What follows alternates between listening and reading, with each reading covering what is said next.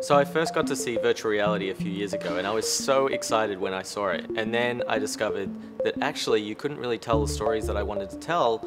Uh, the only humans you could create for it were CG and they just had this uncanny valley feel.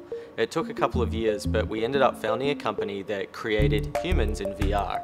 And the project that came out of that was 100 Humans. 100 Humans is the story of the first humans who walked through 8i's doors to help invent an entirely new digital medium and create a new digital reality. This project was about exploring this new grammar of this new type of filmmaking, which is not just typical storytelling, it's actually in a new format called volumetric video.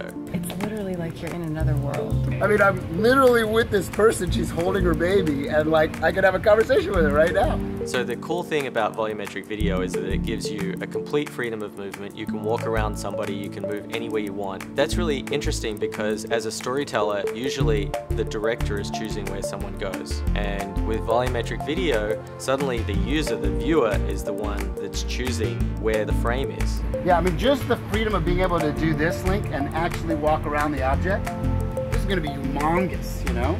I mean, can you imagine going to movies like that?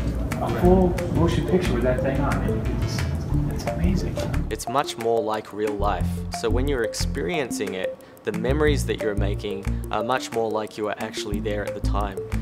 Oh my god! Yo!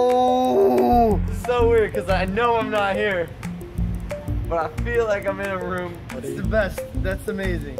As part of developing this technology, I met Rainer Gombos, a visual effects supervisor, who won an Emmy for his work on Game of Thrones and was nominated for his work on Cosmos. He really shared a vision that virtual reality was really the future of storytelling and human communication.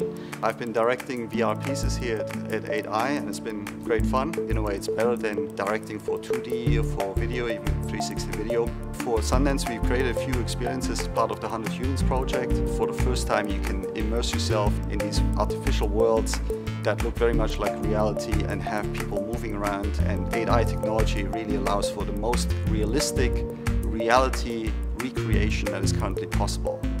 I met Daniel as a part of this project. He's a producer that worked on a really awesome documentary called Atari Game Over and it's been really great working with him on pulling in all these amazing uh, talent from all walks of life and really exploring this new medium. 100 Humans is a tapestry of lots of different people from many different backgrounds who just have amazing stories and people experiencing this for the first time. It's like nothing you've ever seen before. Despite this being a different medium, the fundamentals are the same. Great experiences with good characters and interesting stories. I love the fact that Sundance is embracing VR in a big way, and I can't wait for people to experience this. So we're really excited that Sundance chose 100 Humans to be part of their New Frontier exhibit, and we're really excited for you to see it.